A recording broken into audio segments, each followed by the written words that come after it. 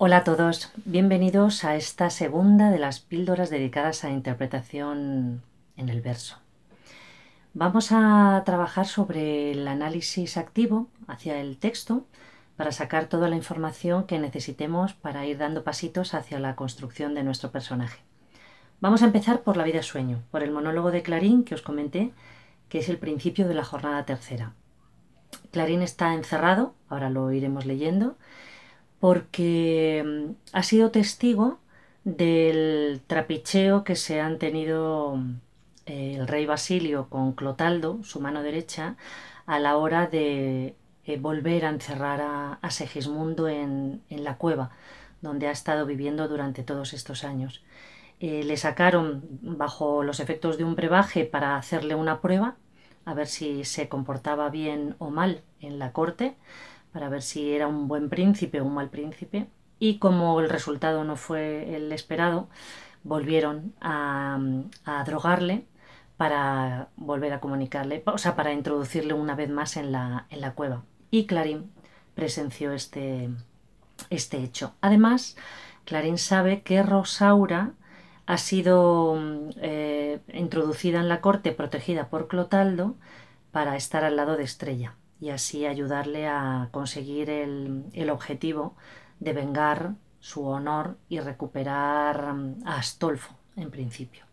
Vamos a ir leyendo el texto y vamos a ir sacando toda esta información de la que hablamos. Clarín dice, en una encantada torre, por lo que sé, vivo preso. Esto ya nos está indicando varias cosas. Una, que está en una torre, que eso es obvio, pero es una torre encantada. Luego veremos por qué podemos deducir que los encantamientos de, la torre pueden venir por cosas que no son evidentemente reales. Pero también vemos que él dice, por lo que sé, vivo preso. Eh, está solo, porque nadie mm, le, le, ha dicho dónde está. Todo esto que os digo quizás digáis, claro, es obvio, pero luego cuando leemos los textos en verso Mm, no se nos hace tan, tan obvio a la hora de desgranarlos. Entonces vive en una torre que está encantada y está preso porque por su propio por, su propia comprobación de la realidad, digamos. ¿Qué me harán por lo que ignoro si por lo que sé me han muerto? Él considera que le han metido en, una, en la cárcel y que realmente han acabado con su vida y estos, él sabe que es porque tiene esos dos secretos ahí dentro de, dentro de, él y además los ha manifestado delante de Clotaldo, que ese ha sido su gran error. Que un hombre con tanta hambre viniese a morir viviendo.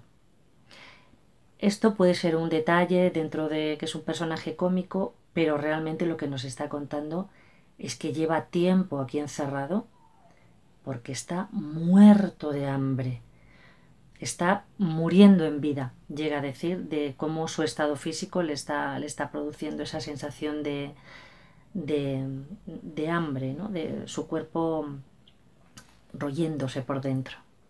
Lástima tengo de mí.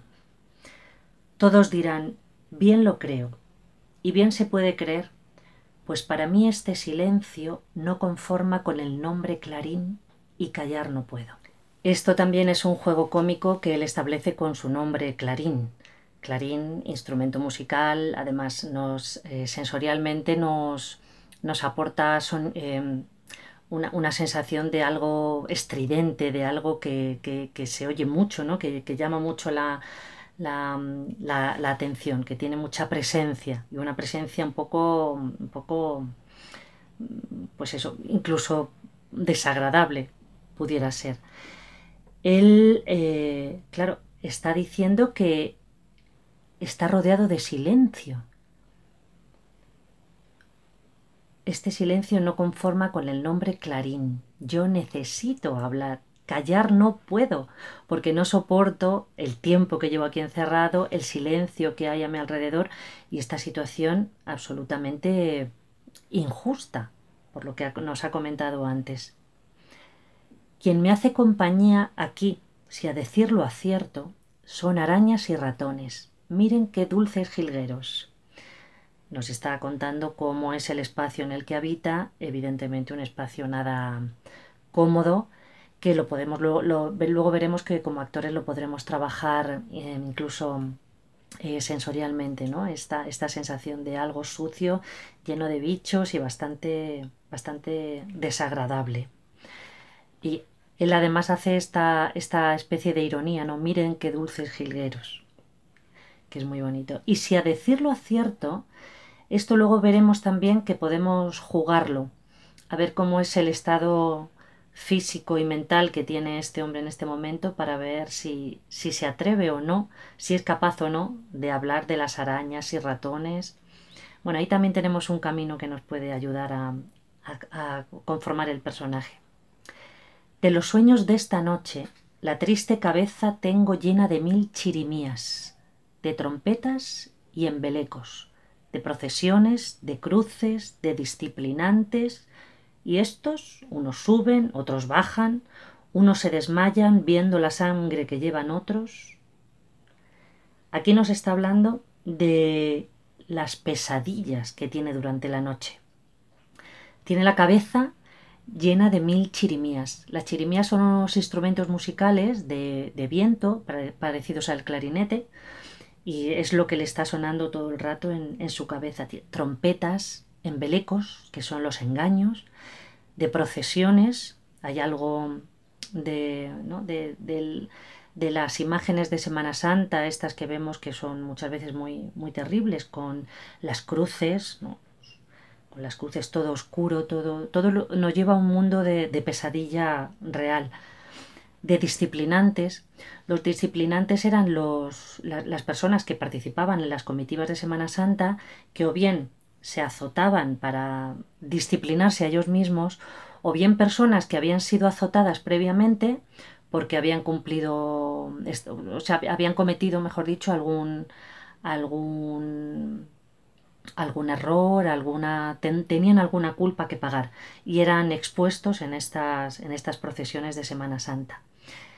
Y, y todos estos, todo esto, estos elementos que, que, que, están dentro de sus pesadillas, unos suben, bajan, se desmayan viendo la sangre que, que llevan otros, mas yo, la verdad diciendo, de no comer me desmayo por encima de todo el horror que él está viviendo por, en esos sueños por la noche, durante el día, ese silencio, a él lo que le está preocupando realmente es que se está a punto de desmayarse del hambre que tiene. Que en esta prisión me veo, donde ya todos los días en el filósofo leo Nicomedes y las noches en el concilio Niceno. Él sigue haciendo humor con este estado que tiene de, padecer un hambre terrible y, está obsesionado. Dice que de día solamente puede leer al filósofo Nicomedes y por las noches está todo el rato acordándose del concilio niceno. Si llaman santo al callar como en calendario nuevo, San Secreto es para mí, pues le ayuno y no le huelgo. Esto habla de que si se hiciera un calendario nuevo en el que se incluyera al santo San Secreto, pues ese sería el santo que le correspondería a él, que le, em, para el que hace ayunos y bueno, le, sirve, digamos, eh, le tiene, le profesa y en cambio no tiene ninguna satisfacción em, por su parte. Aunque está bien merecido el castigo que padezco, pues callé siendo criado, que es el mayor sacrilegio. Está encerrado por haber dicho algo, pero lo ha, lo ha dicho tarde, si él hubiera contado las cosas que sabía antes de tiempo, posiblemente ahora no estaría en esa situación. Vamos ahora con el castigo sin venganza de Lope de Vega. Es el monólogo de Cassandra que inicia la gran escena final del segundo acto, como os dije. Y dice así. Entre agravios y venganzas anda solícito amor después de tantas mudanzas, sembrando contra mi honor mal nacidas esperanzas. Este amor, amor está haciendo de las suyas está aprovechándose de, los agravios que ha recibido Cassandra por parte del duque, que fue a su cuarto la primera noche y no ha querido saber nada más de ella en todo este tiempo, y las venganzas que ella siente para reivindicar su, su, puesto como mujer y como esposa en, esta casa. Entonces Amor se está aprovechando de, de ese estado que tiene ella para sembrar contra su honor malnacidas esperanzas. Estas esperanzas vienen dadas por la percepción que tiene Cassandra de que Federico, el hijo del duque, está enamorado de ella. Y ella está viendo que eso es un camino, una posibilidad para, bueno, para que esas venganzas se puedan desarrollar. Además de tener una afinidad en cuanto a edad o en cuanto a atracción hacia él también. Pero están los dos caminos ahí planteados.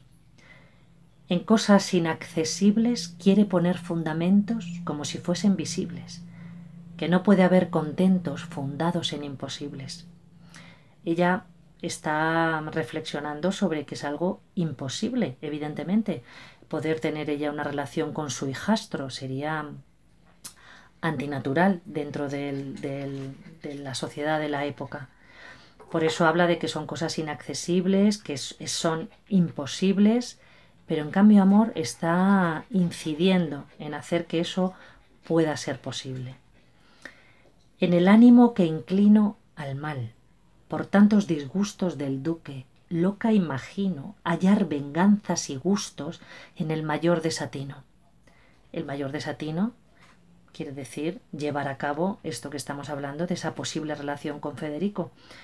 Es un desatino total, pero habla, ella habla de que puede hallar venganzas con esa relación y gustos, porque ella es una mujer, una mujer joven con deseo y con y con ganas de vivir. Por eso dice que, es una locura imaginar siquiera ese tipo, ese tipo de venganza. Incluso está hablando de que ella está inclinada al mal, porque tiene, le gustaría mucho realizar esa, esa venganza. Al galán conde y discreto y su hijo, ya permito para mi venganza efeto, pues para tanto delito conviene tanto secreto. Ella está hablando también de, bueno, de lo... Seguimos con la idea de lo imposible. El galán, el conde es galán y además es discreto. Es una persona que está en su sitio, que hasta este momento no se ha, no, no ha, no ha manifestado abiertamente los sentimientos y las necesidades que tiene hacia, hacia Cassandra y ella se está cuestionando el permitir que, Federico dé un paso más para y, vuelve a repetir la palabra venganza. Es imposible, es, es muy eh, es importante, mejor dicho, porque muchas veces la historia entre Casandra y Federico se bueno, es, son los jóvenes, es un matrimonio por conveniencia, pero la parte interesada de Cassandra también se manifiesta en este monólogo muy, muy claramente. Vile turbado, llegando a decir su pensamiento y desmayarse temblando. Aunque es más atrevimiento hablar un hombre callando,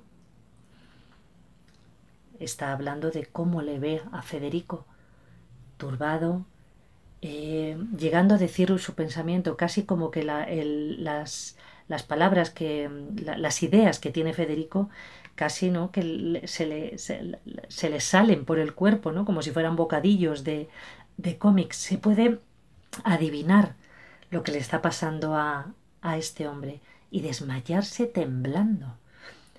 Eh, esto nos está dando también pistas sobre cómo es el estado de Federico cuando se encuentra delante de Cassandra, que el pobre no, no puede ni, ni, ni contenerse aunque es más atrevimiento hablar un hombre callando, quizá Federico, que no es capaz de, de, manifestar su amor y, y, todo lo que siente, con su silencio está contando mucho más y Cassandra lo está percibiendo.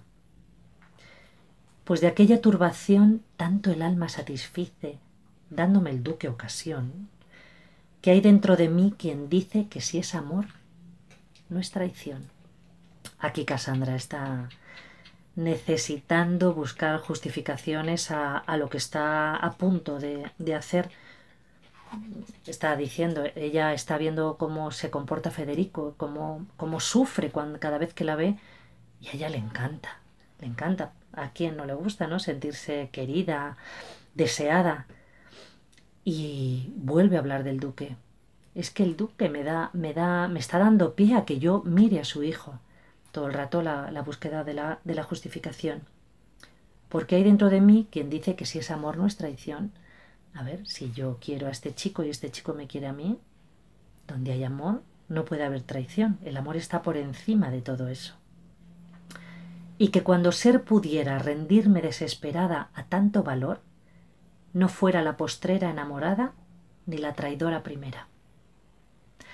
Se está apoyando en la historia femenina, por decirlo de alguna manera, que si ella desde luego cae en los brazos de Federico, no va a ser la primera enamorada del mundo, ni tampoco la primera que haya traicionado eh, a su marido, a, a su marido. A sus padres han querido sus hijas y sus hermanos algunas. Luego no han sido mis sucesos inhumanos ni mi propia sangre olvido. El tema del incesto ella lo tiene muy presente, evidentemente, y está remitiéndose a, a, la, a, la, a la historia, a la mitología, a la literatura dramática, eh, hablando de, de, las hijas que han querido a sus padres, que han querido a sus hermanos, o digamos a las relaciones dentro de la familia que evidentemente no son algo ajenos a la, al ser humano. Pero no es disculpa igual que haya otros males de quien me valga en peligro tal. Aquí ella recula un poco.